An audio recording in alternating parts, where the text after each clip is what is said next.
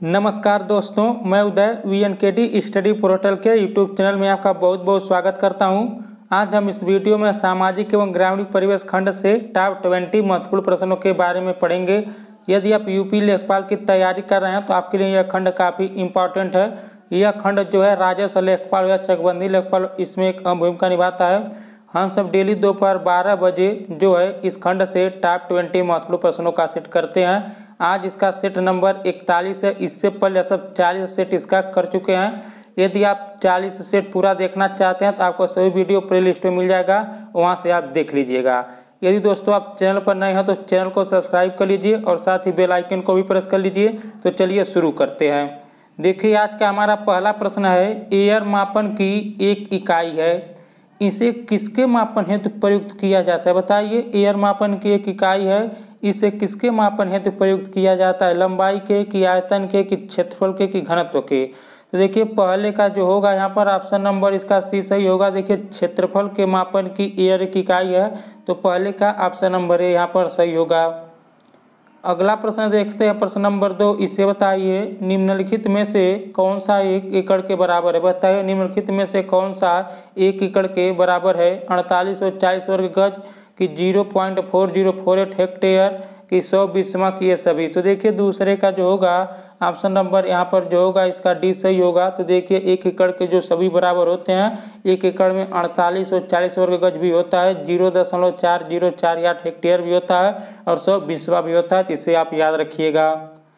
अगला प्रश्न देखते हैं, प्रश्न नंबर तीन, इसे बताइए, किस व्यवस्था में भूमि पर ग्राम समुदाय का संयुक्त स्वामित्व होता था? बताइए, जमींदारी कि महलवाड़ी व्यवस्था में, कि काश्तकारी व्यवस्था में, कि रैयतवाड़ी व्यवस्था में तो देखिए तीसरे का ऑप्शन नंबर जो होगा, बीस सही होगा।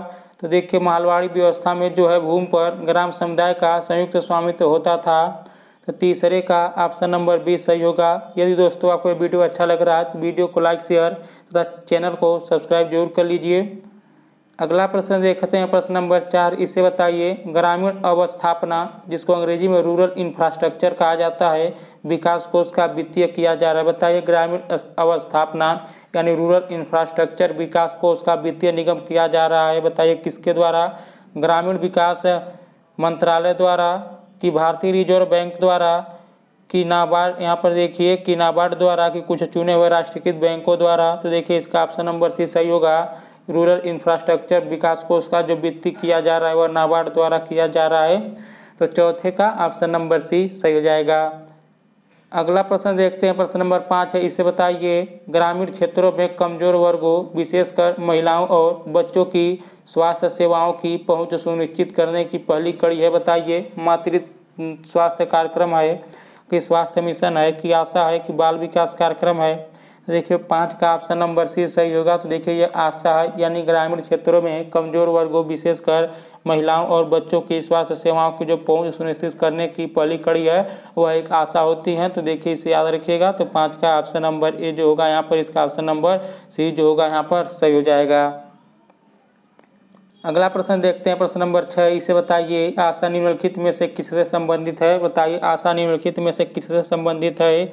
चिकित्सक से, कि चिकित्सा प्रभारी से, कि स्वास्थ्य अधिकारी से, कि सामाजिक स्वास्थ्य कार्यकर्ता से? देखिए छः का ऑप्शन नंबर जो होगा, यहाँ पर जो होगा डी सही होगा। आशा जो है, सामाजिक स्वास्थ्य कार्यकर्ता से संबंधित है तो छः का ऑप्शन नंबर डी सही होगा। इसे आप याद रखिएगा। अगला प्रश्न देखते हैं। इसे बताइए, अगम बिंदुओं में प्लेन टेबल पर प्लांट करने के लिए किया जाता है? बताइए, अगम बिंदुओं में प्लेन टेबल पर प्लांट करने के लिए किया जाता है? बताइए यहाँ पर विक्रयण की ट्राउसिंग की प्रतिच्छेदन, की ये सभी। तो देखिए, सात का जो होगा यहाँ पर, इसका ऑप्शन नंबर सी सही होगा। अगम बिंदुओं में प्लेन टेबल पर प्लाट करने के लिए जो है प्रतिच्छेदन किया जाता है। तो सात का जो होगा यहाँ पर, ऑप्शन नंबर सी जो होगा, सही होगा, प्रतिच्छेदन किया जाता है। अगला प्रश्न देखते हैं। प्रश्न नंबर आठ, इसे बताइए, लेवल यंत्र से स्टाफ पठनांक पढ़ना चाहिए। बताइए, ऊपर से नीचे की ओर पढ़ना चाहिए कि नीचे से ऊपर की ओर, कि ऊपर या नीचे, कि बताइए, इस, इनमें से कोई नहीं। देखिए, आठ का जो होगा, ऑप्शन नंबर ए सही होगा। लेवल यंत्र से स्टाफ पठनांक जो पढ़ना चाहिए, हमेशा ऊपर से नीचे की ओर पढ़ना चाहिए तो आठ का ऑप्शन नंबर ए सही हो जाएगा। यही दोस्तों, आप यूपी के किसी भी एग्ज़ाम की तैयारी कर रहे हैं तो देखिए इस चैनल के द्वारा यूपी स्पेशल जी के भी पढ़ाया जाता है जो रोज़ दोपहर डेली दो बजे। तो इसलिए आप यूपी जी के और सामाजिक ग्रामीण परिवेश ज़रूर पढ़िए। अगला प्रश्न देखते हैं, प्रश्न नंबर नौ, इसे बताइए, पंजाब, हिमाचल प्रदेश तथा हरियाणा में निम्नलिखित में से किस इकाई का प्रयोग भूत क्षेत्रफल के मापन हेतु किया जाता है? बताइए, धूर, किलेचा की गुंठा की मुरब्बा। तो देखिए इसका जो होगा ऑप्शन नंबर डी सही होगा। पंजाब, हिमाचल प्रदेश तथा हरियाणा में जो है भू क्षेत्रफल के मापन हेतु जो मापन हेतु जो प्रयुक्त किया जाता है, मुरब्बा का प्रयोग किया जाता है। तो नौ का ऑप्शन नंबर डी सही हो जाएगा। अगला प्रश्न देखते हैं, प्रश्न नंबर दस। इसे बताइए, निम्नलिखित में से कौन सी भू क्षेत्रफल मापन की इकाई नहीं है? बताइए करम की एकड़ की, कैनाल की, अंकनम। तो देखिए, दस का जो होगा, ऑप्शन नंबर इसका ए सही होगा। कर्म जो है, यह भू क्षेत्रफल मापन की इकाई नहीं है। तो दस का ऑप्शन नंबर ही सही हो जाएगा। अगला प्रश्न देखते हैं। प्रश्न नंबर ग्यारह, इसे बताइए, एक शाहजहानी जरीब की लंबाई कितनी होती है? बताइए, एक शाहजहानी जरीब की लंबाई कितनी होती है? 132 फुट की 220 फुट की, एक सौ पैंसठ फुट की, एक सौ अठहत्तर फुट।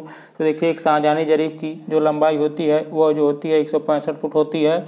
तो इसका ऑप्शन नंबर सी सही हो जाएगा। यदि दोस्तों, आप जो है खसरा खतौनी सभी के बारे में पढ़ना चाहते हैं तो मैंने ऑलरेडी एक वीडियो बना दिया है। वह वीडियो आप देख लीजिएगा। खसरा, खतौनी, रोजनामचा, गाँव का नक्शा, जिल्द बंदोबस्त, इन सभी के बारे में मैंने पढ़ा दिया है तो आप ज़रूर उस सभी वीडियो देखिएगा। अगला प्रश्न देखते हैं, प्रश्न नंबर बारह। इससे बताइए, एक घंटारी जरीब की लंबाई कितनी होती है? बताइए, एक घंटारी जरीब की लंबाई कितनी होती है? एक सौ पैंसठ फुट की, एक सौ अड़तालीस फुट की, एक सौ बत्तीस फुट की, एक सौ बानवे फुट? तो देखिए, इसका जो होगा ऑप्शन नंबर सी सही होगा एक घंटारी जरीब की जो लंबाई होती है, एक सौ बत्तीस फुट होती है तो बारह का ऑप्शन नंबर सी, सही हो जाएगा। यही दोस्तों, आपको यह वीडियो अच्छा लग रहा है, वीडियो को लाइक शेयर तथा चैनल को सब्सक्राइब ज़रूर कर कर दीजिए। अगला प्रश्न देखते हैं, लंबाई मापने की परंपरागत इकाई है, बताइए। लंबाई मापने की परंपरागत इकाई क्या है? मील है कि फरलांग है कि गजक के सभी हैं? तो देखिए, इसका ऑप्शन नंबर डी सही होगा। लंबाई मापने की परंपरागत इकाई जो है, ये सभी हैं, मील, फरलांग, गज सभी हैं। तो तेरह का ऑप्शन नंबर डी सही होगा। देखिए दोस्तों, हम सब जितना प्रश्न आज यह पढ़ रहे हैं, यह सभी जो है प्रीवियस ईयर के एग्ज़ाम में पूछे गए प्रश्न है तो इसलिए आप इन प्रश्नों को ध्यान से देखिए। अगला प्रश्न देखते हैं। प्रश्न नंबर चौदह बताइए, crop agriculture produce loan scheme यानी एपीएल प्रारंभ की गई। बताइए किसके द्वारा प्रारंभ की गई? स्टेट बैंक ऑफ़ इंडिया द्वारा कि यूनियन बैंक द्वारा कि कारपोरेशन बैंक द्वारा? कि इनमें से कोई नहीं? तो देखिए चौदह का जो होगा ऑप्शन नंबर इसका सी सही होगा। Crop agriculture produce loan scheme यानी ए जो है, यहाँ पर हो जाए कारपोरेशन बैंक द्वारा प्रारंभ की गई तो चौदह का ऑप्शन नंबर सी जो होगा, सही हो जाएगा। अगला प्रश्न देखते हैं, प्रश्न नंबर पंद्रह, इसे बताइए, वास्तविक जामी उत्तर तथा चुंबकीय जामी उत्तर के बीच क्षैतिज कोण कहलाता है, बताइए, नमन कोण की चुंबकीय मान की दिक्मान की संस्कृति? पंद्रह का देखिए ऑप्शन नंबर जो होगा, यहाँ पर सी सही होगा, यहाँ पर देखिए, पंद्रह का ऑप्शन नंबर बी सही होगा। वास्तविक याम उत्तर तथा चुंबकीय याम उत्तर के बीच क्षैतिज कोण जो है चुंबकीय मान कहलाता है तो पंद्रह का ऑप्शन नंबर बीस सही होगा, इसे आप याद रखिएगा। अगला प्रश्न देखते हैं, प्रश्न नंबर सोलह इसे बताइए, जब सुई उत्तर दिशा को इंगित करे तो प्रिज्म के अंतर्गत पठनांक होना चाहिए, बताइए, शून्य डिग्री होना चाहिए कि दस डिग्री होना चाहिए कि तीस डिग्री कि साठ डिग्री तो देखिए, जब सुई उत्तर दिशा को इंगित करे तो प्रिज्म के अंतर्गत पठन जो होना चाहिए, वह शून्य डिग्री होना चाहिए तो सोलह का ऑप्शन नंबर ए सही होगा तो यहाँ पर शून्य होना चाहिए। अगला प्रश्न देखते हैं, प्रश्न नंबर सत्रह, इसे बताइए, भारतीय ग्रामीण समाज को बांटा जा सकता है? बताइए, मुख्यतः किसके आधार पर? जमींदार वर्ग एवं काश्तकार वर्ग के अनुसार, कि जनजाति समाज और जमींदार वर्ग के अनुसार, कि जनजाति समाज और कृषक समाज के अंतर्गत, कि उच्च जाति और निम्न जाति के अंतर्गत, समूह के अंतर्गत। देखिए, सत्रह का जो होगा, ऑप्शन नंबर सी सही होगा, जनजातीय समाज और कृषक समाज में बांटा जा सकता है। भारतीय ग्रामीण समाज को तो सत्रह का ऑप्शन नंबर सी जो होगा, सही होगा। देखिए दोस्तों, लेखपाल में जो है ना बहुत कठिन प्रश्न पूछता है। ग्रामीण समाज में ना बहुत आसान पूछता है, समझिए। मीडिया में प्रश्न पूछता है। इसलिए आप इन प्रश्नों को ध्यान से देखिए और इसको समझिए, याद कीजिए। अगला प्रश्न देखते हैं। प्रश्न नंबर अट्ठारह इसे बताइए। विभिन्न परिस्थितियों में नाप लेने में सबसे कम त्रुटि होती है, बताइए। किस चेन से होती है, किससे परीक्षित चेन से? कि इस्पात फीता से कि नुमार फीता से कि पहाड़ी क्षेत्र के मापन में तो देखिए अठारह का जो होगा ऑप्शन नंबर जो होगा इसका सी सही होगा। तो देखिए इनवार फीता से जो है नाप लेने में सबसे कम त्रुटि होती है। तो इसका ऑप्शन नंबर सी सही होगा। इसे आप याद रखिएगा। अगला प्रश्न देखते हैं। प्रश्न नंबर उन्नीस इसे बताइए। छोटे खसकों का मापन होता है, बताइए। इस बार टेप से किनवार फीता से कि के टेप से कि साधारण चेन से तो देखिए छोटे खसकों का जो मापन होता है वह साधारण चेन से होता है। तो उन्नीस का ऑप्शन नंबर डी सही होगा, इसे याद रखिएगा। दोस्तों, आपका जितना प्रश्न सही हो रहा है, कमेंट बॉक्स में ज़रूर बता दीजिएगा कि आपका कितना प्रश्न सही हुआ। और वीडियो अच्छा लग रहा है तो वीडियो को लाइक ज़रूर कर दीजिए। अगला प्रश्न देखते हैं, प्रश्न नंबर बीस। इसे बताइए,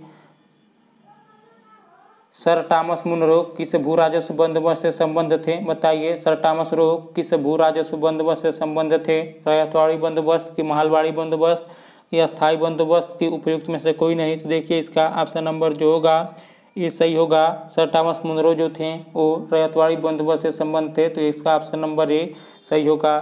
तो दोस्तों, आज का यह आखिरी प्रश्न था। यदि वीडियो अच्छा लगा तो वीडियो को लाइक ज़रूर कर दीजिए। आज इस इस वीडियो में इतना ही दोस्तों। अब मिलते हैं इसके अगले भाग में। नमस्कार।